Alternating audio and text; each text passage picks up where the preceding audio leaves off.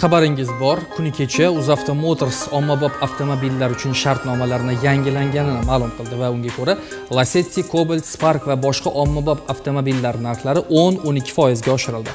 Eng e'tiborlisi uzavto motors sotuvlarni qayta boshlagandan so'ng bir necha soat ichida 13 mingdan ortiq avtomobilga shartnoma tuzilgan. Bu haqda kompaniya matbuot xizmati xabar bermoqda. Ma'lum qilinishicha, kontraktatsiyaning ochilishi hamda yangi avtomobillarga sotuvning boshlanishiga bo'lgan yuqori talab va qiziqish sababli dilerlik korxonalari oxirgi mijozga qadar ishlashga qaror qilgan. Chevrolet Lacetti avtomobili uchun 6300 ta va Chevrolet Cobalt modeli uchun 4700 ta shartnoma tuzilgan. Ushbu avtomobil modellari xaridorlar orasida eng ommabop modellar bo'lgan. Shuningdek, Chevrolet Traverse va Tahoe avtomobillarini xarid qilish uchun arizalar qabul qilish boshlangandan so'ng dastlabki 20 daqiqada kompaniyaga 200 dan ortiq buyurtma kelib tushgan.